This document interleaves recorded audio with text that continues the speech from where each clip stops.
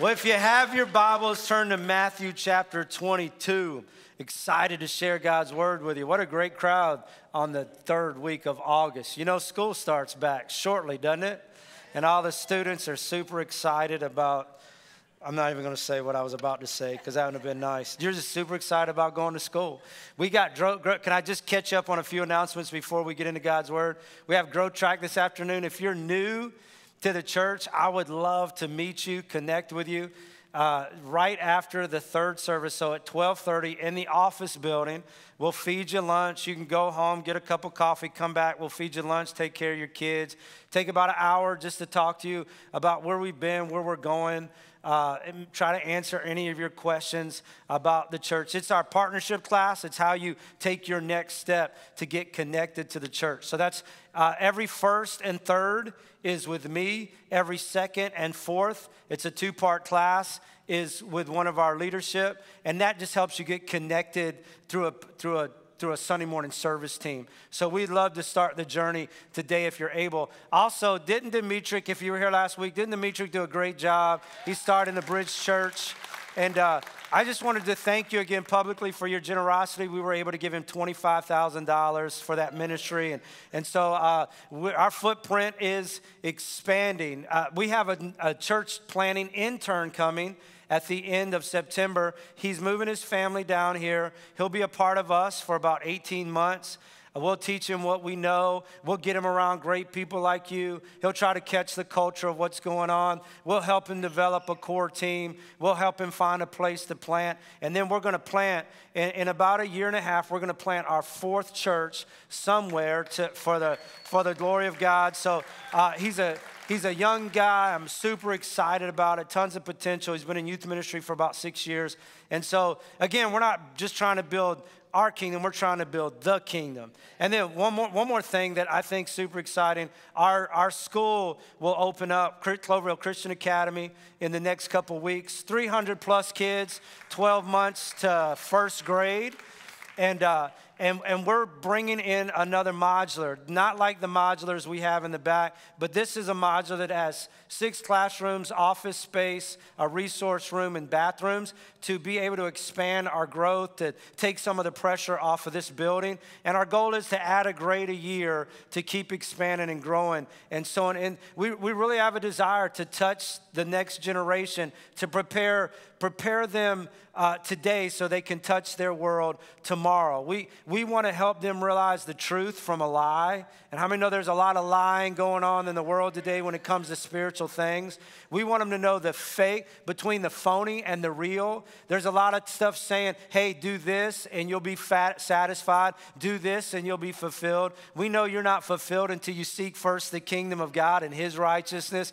We want to help these kids. We want to point them in the right direction, start them on a firm foundation, and give them everything they need to fulfill their God given destiny. So be praying with us about that. Just some super exciting times in the life of our church. And then one more, then we're going to get into the word. Next week is young, young, uh, young people, commu- uh, young communicators. We're going to have we're going to have five young people I mean, like all under the age probably of 21, that are going to share from God's word. They're going to share our values, and they're.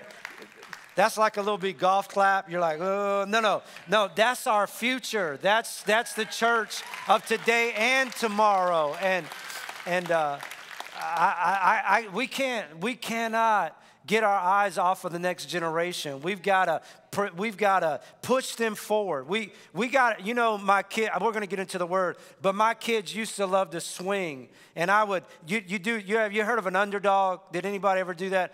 I'm the only one where you get behind them and you run, run and push them and then you go on. That's what our kids need today. They need some older people that'll be their underdog and come understand and just launch them into the, into the possibilities that God has for them. I want to be that person. I want you to be that person. And God God's going to help us. Well, stand with me for the reading of God's word. We're going to read again. And did I tell you where? Matthew chapter 22. It'll also be on the screen. I think this morning's message is one of the one of as important message I've ever preached. We're in between series, and so this is a standalone, and I've just entitled it. Just again, I'm so creative. The greatest commandment. I, I know I wow you with my creativity and my That's me. But when the Pharisees, verse 34, but when the Pharisees heard that he had silenced the Sadducees with his reply, so, so they're trying to trick Jesus. They're trying to get him to say something to use as evidence against him. They're really not interested in him answering the question. They're more interested in catching him in, in something that they could use to convict him at a later time. And he's already shown his wisdom to the Sadducees, and now it's the Pharisees' turn. And so they come at him and they, they ask him this question. One of them, an expert in religious law, tried to trap Jesus with this question Teacher, which is the most important commandment in the law of Moses?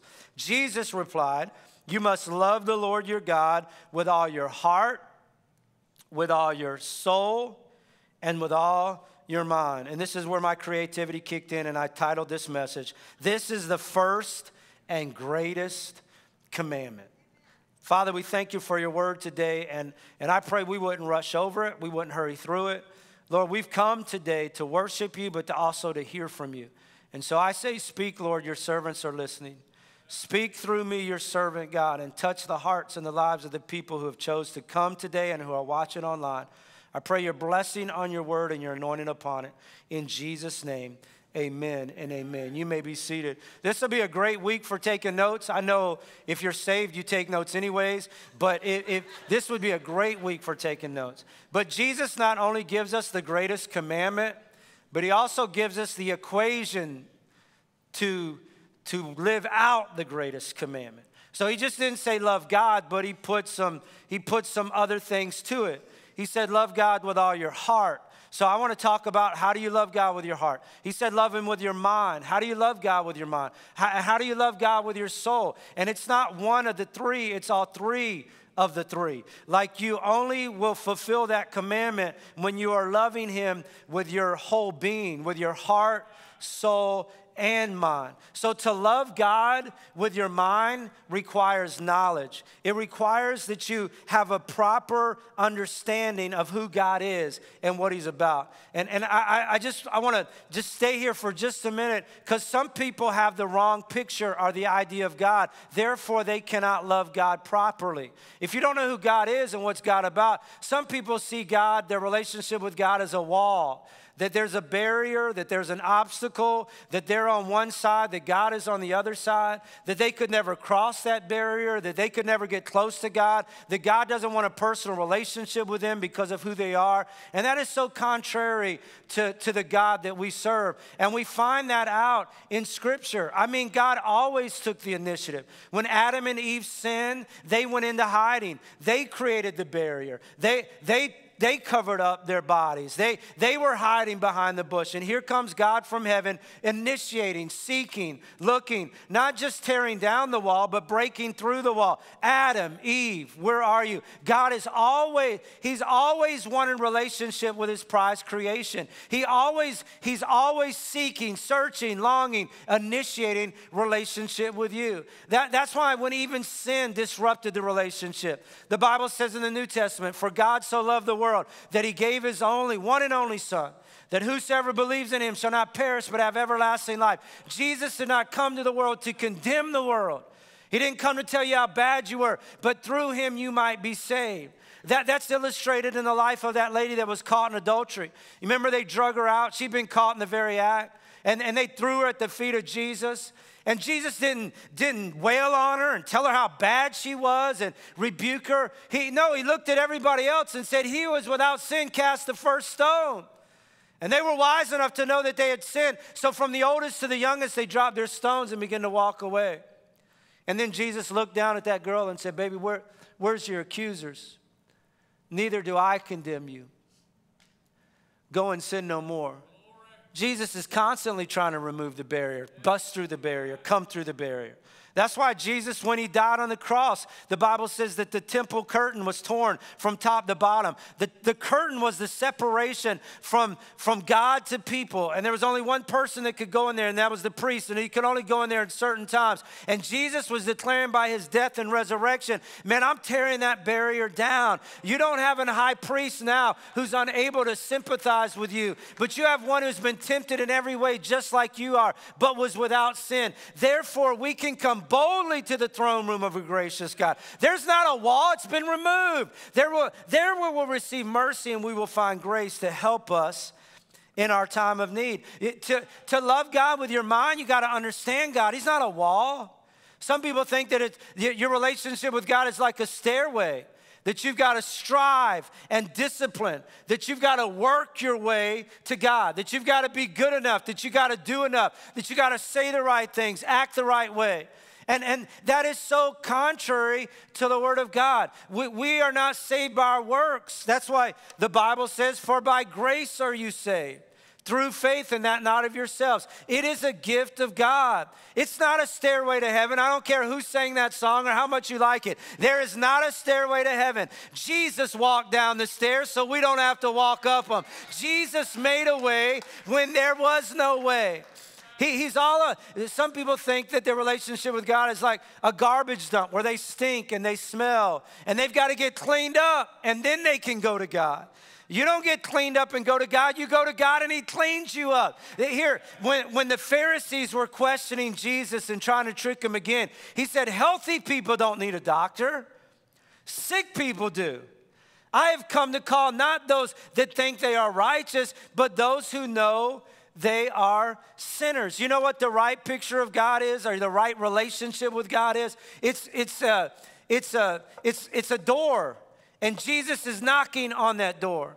It's the door of your heart. And, he, and he's always initiating and he's always coming forward. He took the first 99 steps. All you got to do is open the door. He wants relationships, he wants closeness, he wants fellowship. In fact, he stands at the door of your heart and he knocks. And if you hear his voice and open the door, he'll come in.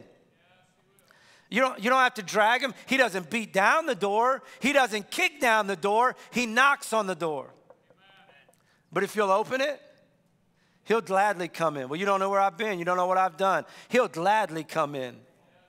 And he'll share a meal together with you as a friend. See, see, to, to, to really love God with your mind, you've got to know, you've got to know God. When my understanding and knowledge, a proper knowledge of God increases, my love increases. That's why it's so important. I can't tell you enough or, or often enough. You've got to be people in God's Word.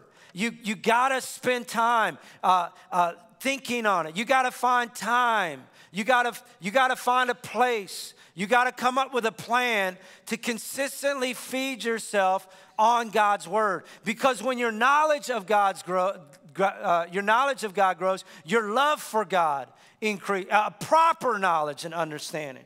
I'm reading through the Gospels right now. That's my plan. I change it up so it doesn't get stale. I, I, I get, if I just do the same thing all the time, it can just become a habit, whatever. And I don't like, some of you like that. I'm reading three chapters a day. I find one, chap, one verse in those three chapters that really make a difference. But as I read through those Gospels, I'm learning how Jesus interacted with people. I'm learning, I'm learning how he responded to people. I'm reading again his miracles, his words, his instructions. I'm, I'm learning what he expects of me as one of his followers. I'm getting a better understanding of his character and his nature. I'm realizing once again that he hates pious, self righteous, I'm better than you, I can make it on, on, on my own type of attitudes. And he loves people that are honest and humble and are authentic and genuine and real and desperate to know the truth and walk in the truth.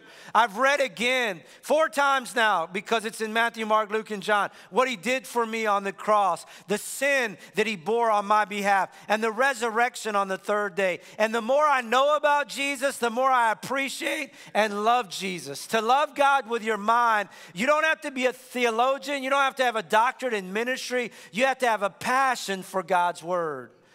You've got to, you got to accept his word as authority. You've got to, we also thank God continually because when you receive the word of God, which you heard from us, Paul's writing the church at Thessalonica. When I, when I preached God's word to you, you accepted it. That's important that when you read the Word of God, when you hear the Word of God, you accept it not as the Word of men, but actually as it is the Word of God, which is in work in you to those who believe. To, to accept God's Word, you got to believe and, and it's got to become your authority. Like you got to, it's got to be your standard for life.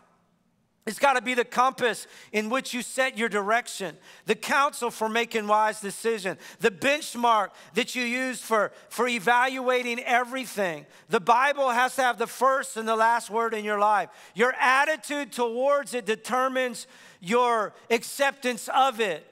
If it's just another book, then you'll treat it as another book. But if it's the Word of God, if it's the inerrant, infallible, perfect Word of God, then you'll live it, then you'll live according to it. You'll follow it when you don't understand it. You'll follow it even when you don't like it. You gotta, you gotta be reminded today, and we gotta continually be reminded that God's Word has the power to generate life and create faith and produce change and beat back the devil, has the power to cause miracles and heal hurt and build character and transform circumstances. God's word has the ability to impart joy and overcome adversity and defeat temptation and infuse hope, to release power and to cleanse your mind, to bring things into being and guarantee our future forever. You've got to accept it, you've got to assimilate it. Let the word of Christ dwell in you richly. Meditate on it, listen to it, read it, study it, talk about it, and you've got to act on it. Now that that you know these things, you will be blessed if you do them. The mind requires proper knowledge to love God. And we grow in faith when we grow in our understanding of God's word because faith comes by hearing and hearing by the word of God. To love God with your mind, you got to have a proper understanding of God. And that comes by spending time in His Word and, and, and, and, and, and spending time in like what you're doing today and listening to God's Word. Here's another thing if you're gonna love God, the heart requires intimacy. He didn't just say love God with your mind, he said love Him with your heart and your soul as well. You need more than information to love God, you need more than a proper understanding to know God. Spiritual in- intimacy does not just know, does not just come from knowing about God, it comes from experiencing God. With your mind, you know God, and with your heart, you worship God. This is good. Really good. You, you it's not one or the other, it's all three. And, and I'm, I'm going to come back to this, but you remember the 10 lepers, and, and they were healed of their leprosy. Let's read about it.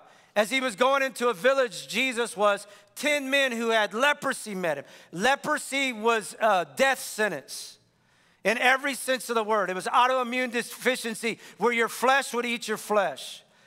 And they were dying, yes, physically, but they were also dying spiritually because they had no access. They were quarantined, they were kicked out of the city. Relationally, they were cut off from their family.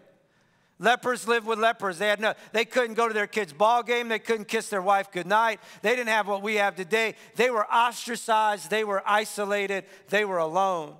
They, they, were, they were social outcasts. Uh, the Bible even says that lepers, you were by law able to, to stone them, to kick them out of the city. They were the lowest of the low.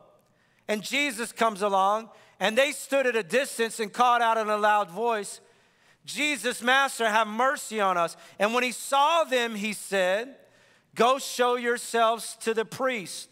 And as they went, I want to pause right there and, and just uh, expand on this for a minute. They had to do something, they had to respond. Why do we call people to the front every week? Couldn't you just get healed where you are? Absolutely.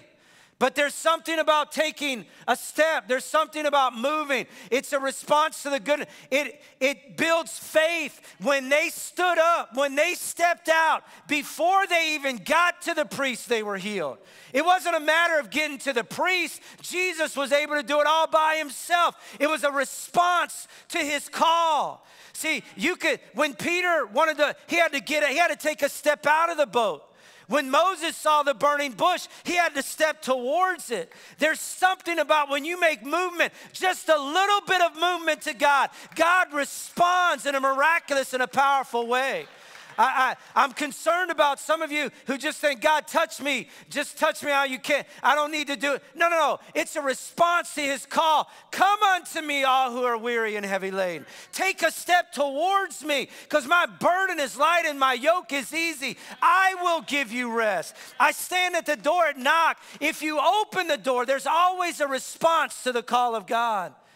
And when you respond, God oftentimes oftentimes God blows your mind and does above and beyond what you could ever ask, think, or imagine. They responded to God's command and they went and they were cleansed. And when one of them, when he saw that he was healed, he came back praising God in a loud voice. And he threw himself at Jesus' feet and thanked him. I want to ask you, is that an appropriate response?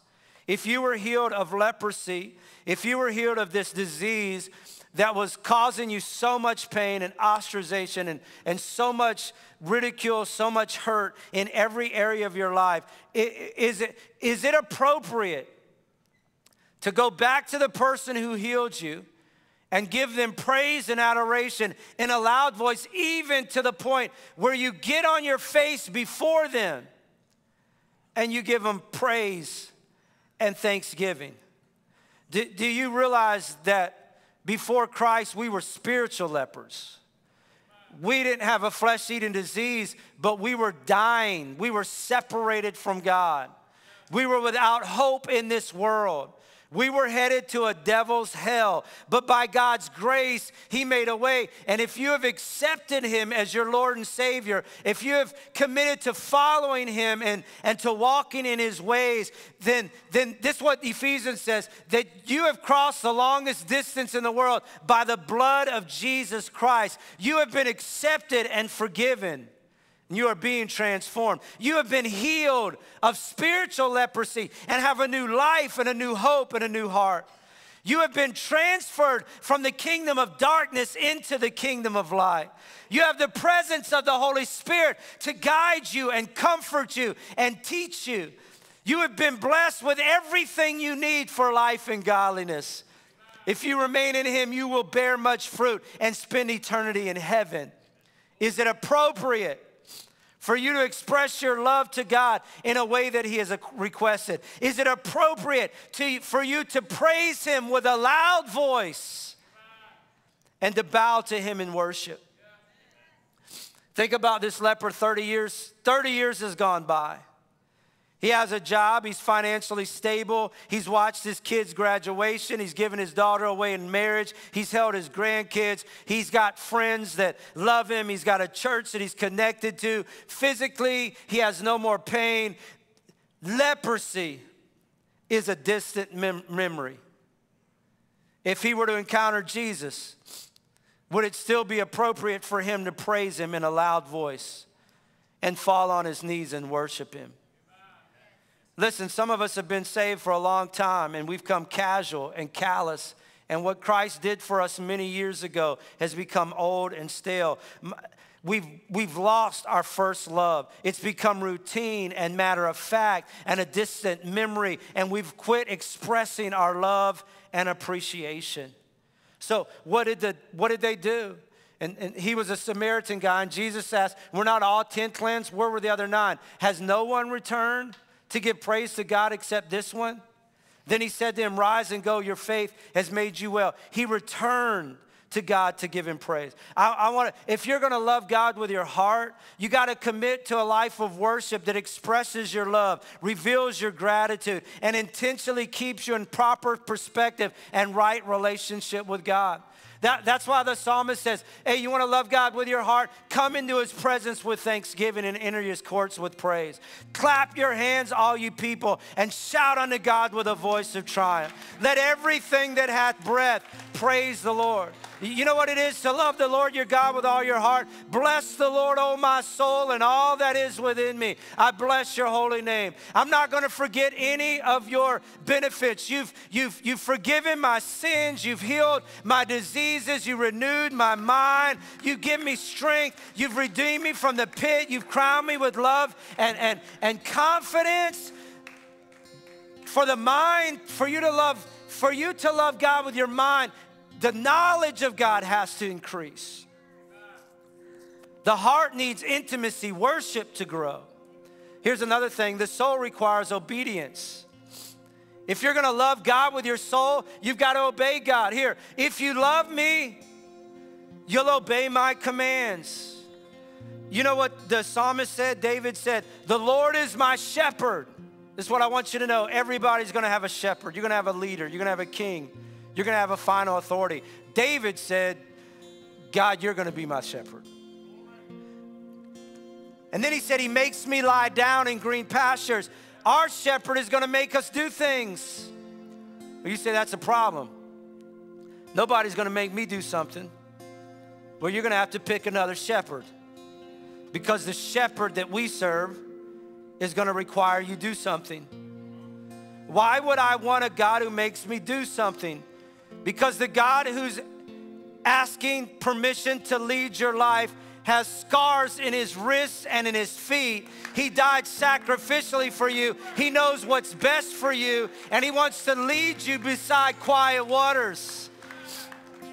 The person that loves Jesus will desire to consistently follow Jesus' teaching on money and on marriage and on family and on values and on sexuality and on work and on relationships in everything. And we can be sure that we know if we obey his commandments. Let me read that again. And we can be sure that we know him if we obey his commandments. If someone claims, I know God, but doesn't obey God's commandments, that person is a liar and the truth is not living in the truth. But those who obey God's word truly show how completely they love him. Jesus asked, was asked by the Pharisees, What's the greatest commandment? Jesus responded, Love the Lord with all your heart. It's intimacy, it's worship. When Jesus came into Jerusalem, people were waving palm branches and they were throwing out uh, things in front of him to walk on. And, and you know what the Pharisees said? They said, Jesus, tell your followers to shut up, to quit praising you like that. And he responded and said, If they don't praise me, the rocks are going to cry out. They'll praise me, they'll bless me. He said, I want you to love me with all your soul. It's obedience. Here's what Jesus said Why do you call me Lord, Lord, and don't do what I say? I've been, I've been hearing some of you call me Lord, but you don't want to honor what I'm asking and telling you to do. It was like he was surprised that they had a confession of faith, but they weren't backing it with their lives. It, it didn't make sense to him. How can you call me Lord? Because what is Lord? It's leader, it's authority. How can you call me Lord with your mouth and not submit and surrender to me in your walk? He said, Love me with all your mind, knowledge, proper understanding. They that know the Lord will be strong and carry out great exploits. Well, listen, what if, what if I just love God with my heart? With my emotions, with my praise, with my affection, with my gratitude, but not with my obedience and not with biblical knowledge. You know what that is? That's emotionalism. That's just, let me jump and shout but when I, my feet hit the ground, who cares where I'm going or what, what's happening in my That's the person that goes from church to church looking for a goosebump, looking for another feeling, looking for another something to feel. It's emotional. You're chasing emotion. We don't live by feelings, we live by faith. You, you don't you don't want to you don't want to live you don't want to just got, love God out of emotions. They don't they don't last. Well, well, what if I love God with my mind, biblical knowledge, but without my heart, without worship, spiritual intimacy, and, and without my soul, obedience? What is that? That's intellectualism. That, that's, that's knowledge puffs up. How many know people that can quote scripture and, and chapter and verse? They can debate doctrine. They know what a Nephilite is, but they don't live a surrendered life. The Pharisees were the most intellectual people spiritually in Jesus' day, but they were most they were the most bankrupt spiritually. What if I love God with my soul? That I obey him, but not with my mind or not with my heart. What is that? That's legalism.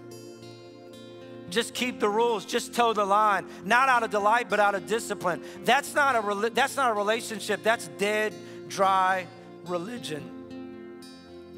Here's what Jesus said hey, he, You want one commandment? You want to stick to one commandment? You want to make everything else easy? Hey, just love me, but there's a way to love me. Love me with, my, with your mind. It's, it's, it's a proper understanding of God, that He's gracious and good and generous, that He desires to bless and to fulfill and satisfy, that He wants to equip and empower, to protect, to provide, and free all those who call Him Lord. Love him with your heart. Give him the praise and the it it is acceptable unto him. It is appropriate unto him that we declare, "Oh magnify the Lord with me. Let us exalt his name together." And love him with your soul. It's obedient, surrendered living. Not everyone who says to me, Lord, Lord, will enter the kingdom of heaven, but only he who do, does the will of the Father who is in heaven.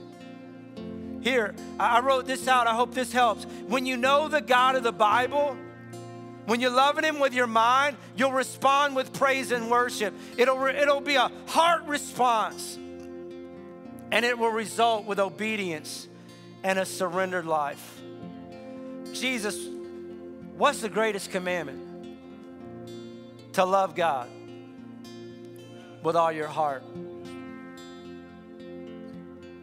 with all your mind, biblical understanding, diving into Scripture, and with all your soul. It's your walk, it's your obedience, and your commitment to Him. My prayer is for you, my prayer is for me that we'll love God with all our heart, all our mind, and all our soul. Amen, everybody. Stand with me, will you? I want you to ask yourself this question Holy Spirit, what are you saying to me? Search our hearts, God, and see what's in us. Are we loving you with our hearts? Are we loving you with our minds? Are we loving you with our souls?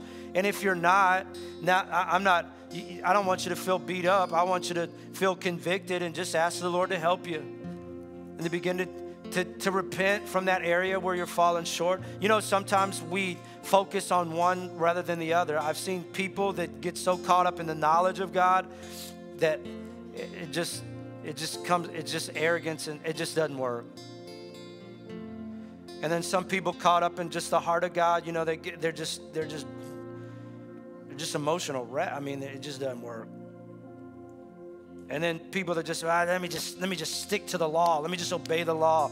It's lifeless. It's dead. It's not one, it's all three. God, help us to love you with our minds. Give us a pro- help us to have a proper understanding, to know you, God. To read your scripture, and I pray, Holy Spirit, that you'd make the scripture come alive. Lord, you said the word of God is, is, is, is active and activate your word in our lives, Jesus. I pray that as we take a step and open up scripture, that you would that you would respond by illuminating it and making it real to us. Some of you need to make a commitment this morning to spend some time in God's Word. On your way to work, listen to it. I don't know, redeem the time. You, you, you, can, you can be creative, but just feed yourself with God's Word. I don't, I don't want to keep, we're going to baptize a couple people, but I think this is so important. Some of you have grown just dry in your worship, like worship's for everybody else. It's not for me. I don't need it. It's not for you. It's for Jesus. And if you love Jesus, you're going to, you're going to express your devotion to Jesus. You're going to be vocal in your, in your love for Jesus. You know what worship is? It's love expressed. You're going to express a heart. And then obedience, are you following it? And I don't mean perfection, but there's got to be progress in your life, or you're forgetting those things which are behind and pressing forward to that which is before. Is the desire of your heart to obey God's word and follow Him in every area?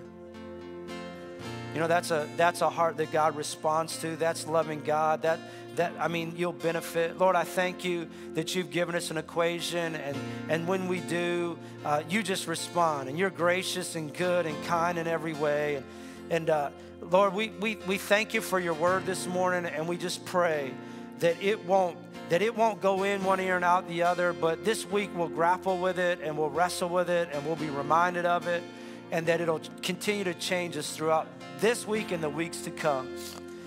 In the mighty name of Jesus, amen and amen.